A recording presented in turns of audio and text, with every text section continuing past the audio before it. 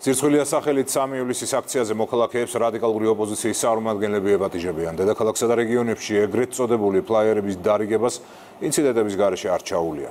მოსახლეობის ნაწილი აქციის ორგანიზატორებს არენდობა და მათ ლოზუნგებში დესტაბილიზაციისა და რევოლუციური გზით ხელისუფლების ხელში ჩაგდების სურვილს ხედავენ. მართლ გუნჩი კი პირდაპირ ამბობენ, რომ სირცხვილიას უკან ნაციონალური მოძრაობა და მისი მოკავშირე ორგანიზაციები, მათ შორის მესამე სექტორი წარმომადგენლებით განან.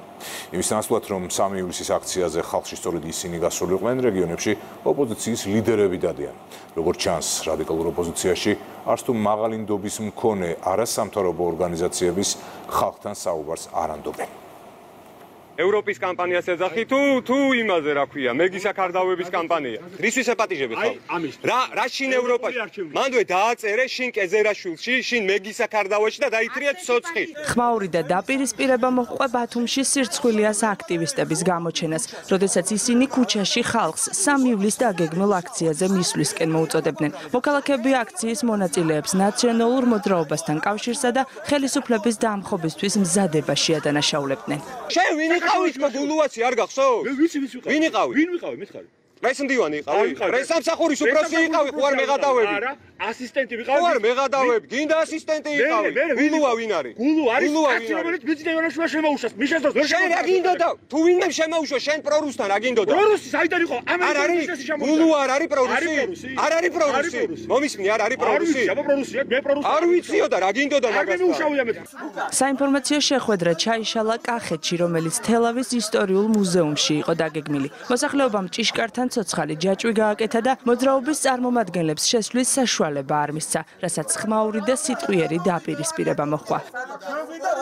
ხმაურის garaში არ ჩაულია მოსახლეობასთან შეხვედრას გორშიც, სადაც თბილისში სირცხვილიას მიერ დაანონსებულ აქციაზე მისვლისკენ ხალხს ლელოს წევრები მოუწოდებდნენ. ადგილობრივებმა ოპოზიციური პარტიის ლიდერებს ფლაიერების დარიგების დროს მწვანილები ესროლეს. აი მე საქართველოს მოღვაწეები ძირს.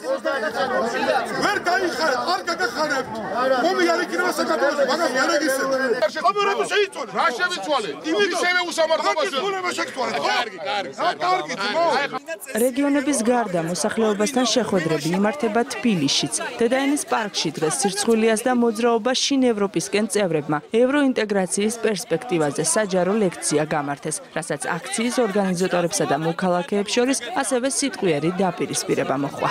ევროპაში გვარამიას გარეშემი და ევროპაში შეგვიშებე.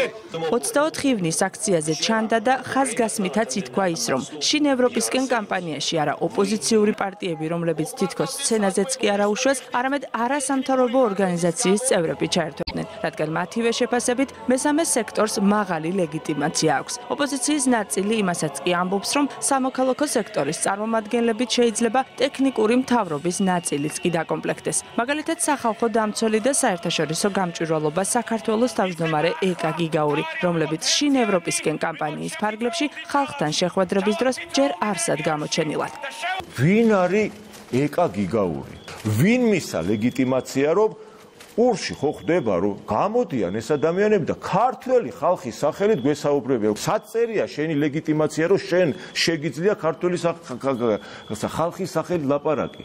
ან მაქარაშვილი ვინ არიან მიუხედავად იმისა, რომ აქამდე ჩატარებული კვლევებიდან კარგას ჩანს, რომ მესამე სექტორი საზოგადოებაში დიდი ნდობით არ სარგებლობს, საპარლამენტო ოპოზიციის ნაწილი მათ კანდიდატურას ეგრეთ წოდებულ მთავრობაში მაინც მიესალმება.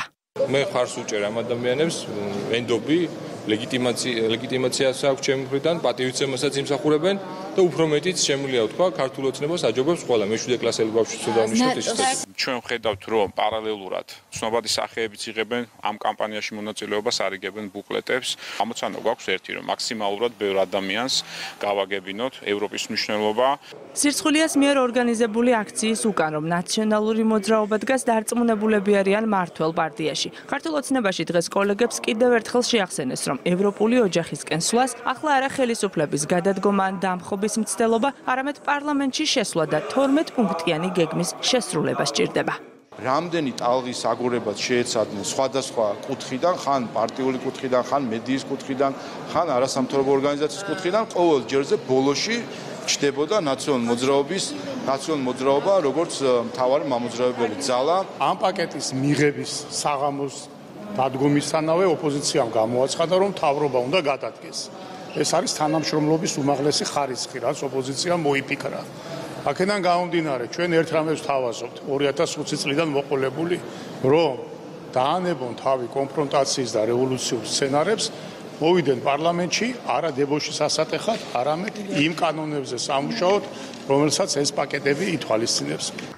მიუხედავად იმისა, რომ 24 ივნის სირცხვილიას ორგანიზატორებმა ახალი საპროტესტო ტალღა პოლიტიკოსების გარეშე მხოლოდ არასამთავრობო ორგანიზაციების ჩართულობით დაანონსეს, ფაქტია, რომ მოსახლეობას აქციაზე მისვლისკენ რეგიონებში ოპოზიციის ლიდერები მოუწოდებენ. ისიც ფაქტია, რომ სწორედ პოლიტიკური პარტიების გამოჩენა ხდება შინ ევროპისკენ კამპანიის დროს ხმაურისა და დაპირისპირების მთავარი მიზეზი.